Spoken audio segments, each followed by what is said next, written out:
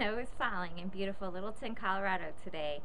So if you were lucky enough to wake up to a snow day, what does that mean for your college application process? Well, if you're a senior, you should definitely try and finish up those supplemental essays. Supplemental essays are a very important part of your application. This is how admissions officers tend to gauge how interested you are in their school. It is important to cite specific programs or academic areas that you're interested in in order to show that you've done your research. Another important factor about supplemental essays is to simply answer the question.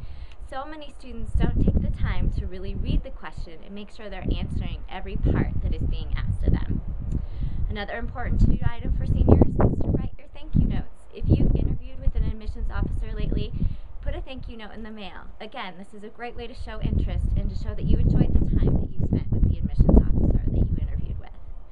Another important, another important group of people to write thank you notes to are those that are writing your letters of recommendation. So teachers that have completed your letters and your guidance counselor, it is a great way to show that you're thinking about them and appreciate all the hard work they have put into your letters of recommendation. For juniors, snow days are a great time to get organized. By now you've probably received a ton of college mail. If so, read Kara's blog below for some tips on how to weed through and organize all of those brochures that you have received. Another great tip for juniors, start thinking about standardized tests. It's important to sit down and look at all of the testing dates for the SAT and the ACT and figure out which tests you will be taking when, and also pay attention to when the registration deadlines are as well.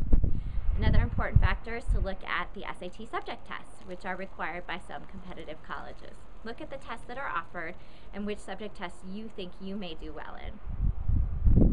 For sophomores, snow days are a great day to just start your college research online. There are hundreds of websites out there that offer information on colleges. We've listed some of our favorites on greatcollegeadvice.com.